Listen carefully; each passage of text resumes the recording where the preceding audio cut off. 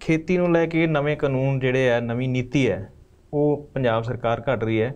ਭਾਵੇਂ ਕਹਿੰਦੇ ਦੇਰੀ ਹੋ ਗਈ ਮਾਨ ਸਾਹਿਬ ਕਹਿੰਦੇ ਕਿ ਬਹੁਤ ਫਾਇਦੇ ਹੋਣ ਵਾਲੇ ਆ।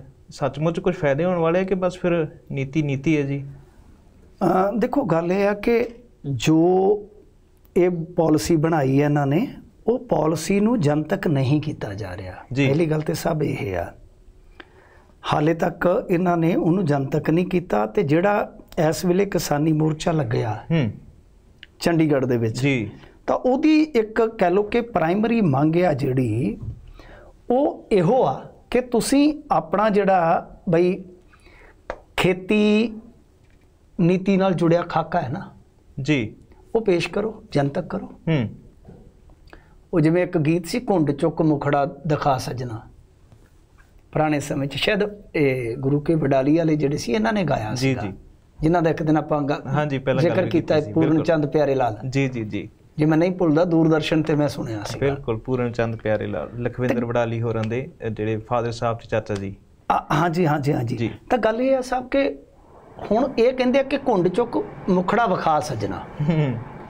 ਇਹ ਕਹਿੰਦੇ ਆ ਕਿ ਹਾਲੇ ਦੇਰ ਲੱਗੇਗੀ ਚਿੱਤ ਨਾ ਡੁਲਾ ਸਜਣਾ। ਹੂੰ ਸਹੀ ਵੀ ਹਾਲੇ ਯਾਰ ਅਸੀਂ ਨਾ ਜਿਹੜੇ ਸਟੇਕ ਹੋਲਡਰਸ ਆ ਜਾਂ ਕਹਿ ਲੋ ਕਿ ਜਿਹੜੇ ਹੋਰ ਇਸ ਤਰ੍ਹਾਂ ਦੇ ਬੰਦੇ ਆ ਕਿ ਬਈ ਉਹ ਜੋ ਮਤਲਬ ਕਿ ਜੁੜੇ ਆ ਅਸੀਂ ਉਹਨਾਂ ਦੇ ਨਾਲ ਗੱਲਬਾਤ ਕਰ ਲਈਏ। ਅੱਜ ਇੰਦਰਪ੍ਰੀਤ ਸਿੰਘ ਜੀ ਆ ਬੜੇ ਤਗੜੇ ਜਰਨਲਿਸਟ ਆ। ਜੀ। ਉਹਨਾਂ ਨੇ ਇੱਕ ਕਹਿ ਲੋ ਕਿ ਰਿਪੋਰਟ ਛਾਪੀ ਆ। ਉਹ ਕਹਿੰਦੇ ਆ ਕਿ ਦਰਅਸਲ ਹੋ ਸਕਦਾ ਕੋਈ ਉਹਨਾਂ ਨੂੰ ਜਾਣਕਾਰੀ ਮਿਲੀ ਹੋਵੇ ਜਾਂ ਕਿਤੋਂ ਰਿਪੋਰਟ ਉਹਨਾਂ ਨੇ ਐਕਸੈਸ ਕਰ ਲਈ ਹੋਵੇ। ਜੀ। ਕਿਉਂਕਿ ਬਹੁਤ ਕੁਝ ਹੋ ਜਾਂਦਾ। ਬਿਲਕੁਲ ਬਿਲਕੁਲ। ਤਾਂ ਇਹ ਤਾਂ ਜਰਨਲਿਸਟ ਤੇ ਕਹ ਲੋ ਕਿ ਨਿਰਭਰ ਕਰਦਾ ਹੈ। ਤਾਂ ਜਨਾਬ ਉਹ ਕਹਿੰਦੇ ਆ ਕਿ ਜੋ ਪਿੱਛੇ ਕਾਂਗਰਸ ਸਰਕਾਰ 'ਚ ਖੇਤੀ ਨੀਤੀ ਲਿਆਂਦੀ ਗਈ ਇਹ ਇਹਦੇ ਤੋਂ ਕੋਈ ਜੁਦਾ ਨਹੀਂ ਹੈ ਬਹੁਤੀ। ਜੀ। ਇਹ ਤਕਰੀਬਨ ਤਕਰੀਬਨ ਕਹ ਲੋ ਕਿ ਸੇਮ ਸੇਮ ਹੀ। ਹੈ ਜੀ। ਆਂਦੇ ਹੁੰਦੇ ਨਾ Natha Singh and Prem Singh one and the same thing ਹਨਾ? ਉਹ ਕਹਿੰਦੇ ਕਿ ਬਸ। ਸਰਕਾਰਾਂ ਹੀ ਬਦਲੀਆਂ ਨੇ ਸਭ ਇਹ ਉਹੀ ਆ। ਤੇ ਜਿਹੜੀ ਉਹ ਪਾਲਿਸੀ ਸੀਗੀ ਨਾ ਜੀ। ਉਹ ਬਣਾਈ ਸੀ ਅਜੇ ਵੀਰ ਜਾਖੜ ਨੇ। ਹਾਂਜੀ। ਅਜੇ ਵੀਰ ਜਾਖੜ ਕੌਣ ਸੀਗਾ? ਸੁਨੀਲ ਜਾਖੜ ਦਾ ਭਤੀਜਾ। ਜੀ। ਉਸ ਬੰਦੇ ਨੇ 1 ਰੁਪਈਆ ਵੀ ਨਹੀਂ ਸੀ ਲਿਆ। ਹੂੰ। 1 ਰੁਪਈਆ ਵੀ ਨਹੀਂ ਸੀ ਲਿਆ ਮਤਲਬ ਕਿ ਫ੍ਰੀ ਇਹਦੇ ਤੇ ਕੰਮ ਕੀਤਾ ਸੀਗਾ।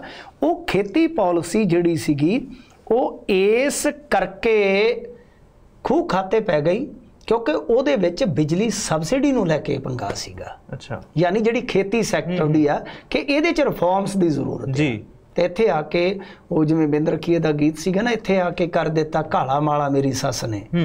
ਉਹ ਜਦੋਂ ਮਤਲਬ ਕਿ ਥੋੜੀ ਬਹੁਤੀ ਚਰਚਾ ਚਾਹੀ ਤਾਂ ਕੈਪਟਨ ਅਮਰਿੰਦਰ ਸਿੰਘ ਡਰ ਗਿਆ।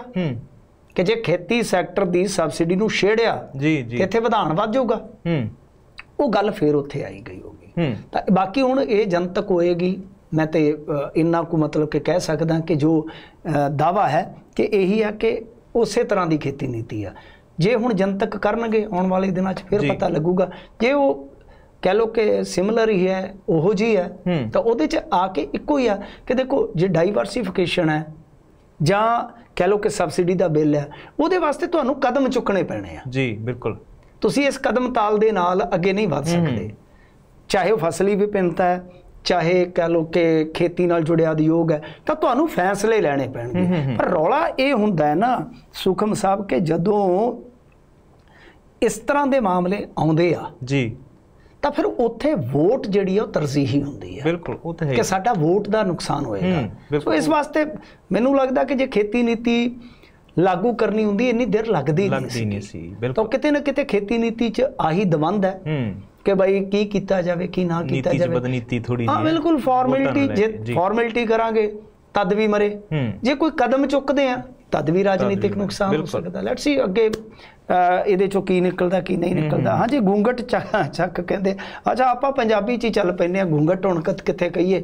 ਹਾਂ, ਭੁੰਡੀ ਕਹਿ ਦਿੰਨੇ ਆ ਸਿੱਧਾ ਠੀਕ ਹੈ, ਠੀਕ ਅਸੀਂ ਕਿਹੜਾ ਇੱਥੇ ਕੋਈ ਸੱਤ ਸੁਰਾਂ ਗਾਉਣਾ ਅਸੀਂ ਤਾਂ ਬੋਲਣਾ ਹੀ ਆ ਸਾਹਿਬ ਜੀ ਜੀ ਉਹ ਜੇ ਅਸੀਂ ਗੱਲ ਕਰ ਰਹੇ ਤੁਹਾਡੇ ਕਹਿੰਦੇ ਨੀਤੀਆਂ ਨੀਤ ਨਾਲ ਲਾਗੂ ਹੁੰਦੀਆਂ ਸਰਕਾਰਾਂ ਸਿਰਫ ਗੱਲ ਕਰਦੀਆਂ ਨੇ ਕੰਮ ਕਰਦੀਆਂ ਨਹੀਂ।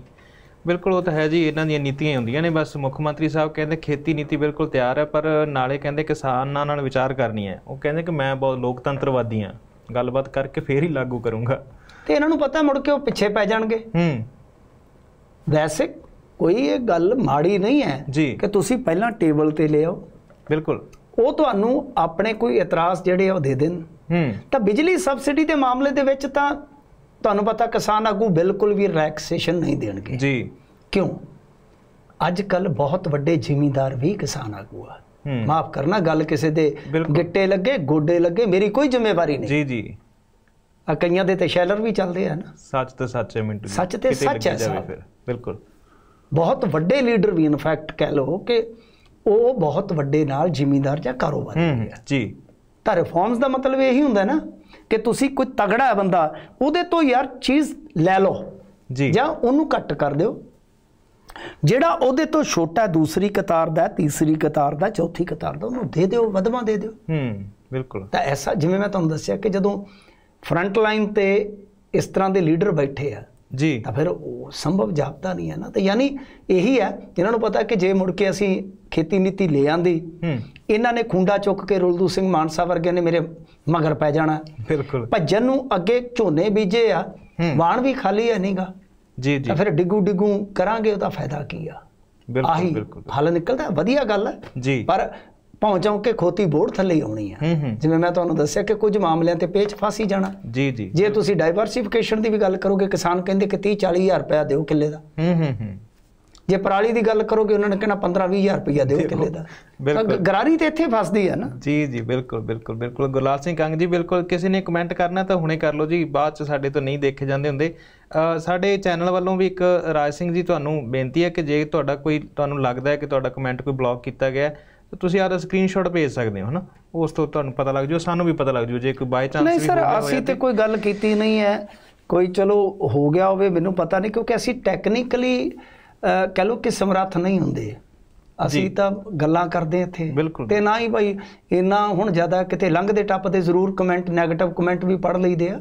ਕੋਈ ਚੱਕਰ ਨਹੀਂ ਹੈਗਾ 네ਗੇਟਿਵ ਵੀ ਪੜ੍ਹ ਲੈਂਦੇ ਆ ਇੱਕ ਅਜੇ ਪਰਸੋਂ ਭਾਈ ਸਾਹਿਬ ਕਹਿ ਰਹੇ ਸੀ ਕਿ ਗੈਂਗਸਟਰਾਂ ਬਾਰੇ ਤੁਸੀਂ ਖੁੱਲ ਕੇ ਨਹੀਂ ਬੋਲਦੇ। ਚਲੋ ਤੁਹਾਡੀ ਨਿਗਾਹ 'ਚ ਹੋ ਸਕਦਾ ਬਿਲਕੁਲ। ਪਰ ਅਸੀਂ ਜਿੰਨਾ ਕੋ ਸਿੱਧੂ ਮੂਸੇ ਵਾਲੇ ਦੇ ਮਾਮਲੇ 'ਚ ਜਾਂ ਹੋਰ ਮਾਮਲਿਆਂ 'ਚ ਬੋਲੇ ਆ ਬਈ ਜੋ ਬੋਲ ਸਕਦੇ ਬਿਲਕੁਲ ਸੀਗੇ ਜੀ ਬਿਲਕੁਲ ਬਿਲਕੁਲ ਤੇ ਤੁਹਾਨੂੰ ਕੀ ਕੀ ਪਤਾ ਕਿ ਗਾਂ ਬੋਲਿਆਂ ਤੋਂ ਵੀ ਕੀ ਹੁੰਦਾ ਪਰ ਫੇਰ ਵੀ ਬੋਲਦੇ ਆ ਅਸੀਂ। ਗੱਲ ਇਹ ਆ ਕਿ ਅਸੀਂ ਤੇ ਯਤਨ ਕਰਦੇ ਆ ਸਭ ਜੇ ਕਿਤੇ ਕੋਈ ਕੁਤਾਹੀ ਹੁੰਦੀ ਆ ਤਾਂ ਤੁਸੀਂ ਬਈ ਠੀਕ ਹੈ ਜੱਜ ਕਰ ਸਕਦੇ ਹੋ। ਜੀ। ਠੀਕ ਹੈ ਚਲੋ ਮਿੰਟੂ ਜੀ ਆਪਣੇ ਜਿਹੜੇ ਸੁਣਨ ਵਾਲੇ ਦਰਸ਼ਕ ਨੇ ਉਹ ਡਿਸਟਰਬ ਹੁੰਦੇ ਨੇ ਉਹ ਬਹੁਤ ਹੈ। ਆਪਾਂ ਆਪਣੀ ਖਬਰ ਵੱਲ ਨੂੰ ਚੱਲਦੇ ਹਾਂ। ਆਪਾਂ ਕਿਉਂਕਿ ਬਹੁਤਿਆਂ ਵਾਸਤੇ ਬਹੁਮਤ ਵਾਸਤੇ ਚੱਲ ਰਹੇ ਹਾਂ ਹਨਾ? ਇੱਕ ਅੱਧੇ ਬਾਈ ਦੀ ਕੋਈ ਗਰਾਰੀ ਫਸ ਗਈ ਹੈ ਕੋਈ ਗੱਲ ਨਹੀਂ। ਆਪਾਂ ਰਾਜਨੀਤੀ ਤੋਂ ਥੋੜਾ ਜਿਹਾ ਸਮਾਜ ਵੱਲ ਨੂੰ ਆਉਣੇ ਆ। ਮਿੰਟੂ ਜੀ ਬਾਗੇ ਪੁਰਾਣੇ ਦੇ ਵਿੱਚ ਕਹਿੰਦੇ ਇੱਕ ਬੜੀ ਦੁਰਭਾਗਿਆ ਜਿਵੇਂ ਕਹਿ ਲਓ ਅਫਸੋਸਨਾਕ ਘਟਨਾ ਹੋਈ ਕਿ ਇੱਕ ਸ਼ਰਾਬ ਦੇ ਨਸ਼ੇ ਦੇ ਵਿੱਚ ਬੰਦੇ ਨੇ ਸਾਰਾ ਪਰਿਵਾਰ ਹੀ ਖਤਮ ਕਰਤਾ। ਇਹ ਕੀ ਚੱਕਰ ਹੋਇਆ? ਕਿਵੇਂ ਇਹ ਘਟਨਾ ਵਾਪਰੀ ਹੈ ਜੀ? ਦੁਰਭਾਗਿਆ ਨੂੰ ਆਪਾਂ ਮੰਦਭਾਗਾ ਵੀ ਕਹਿ ਸਕਦੇ ਮੰਦਭਾਗਾ। ਪੰਜਾਬੀ ਚ ਮਾੜੀ ਗੱਲ ਹੈ ਜੀ।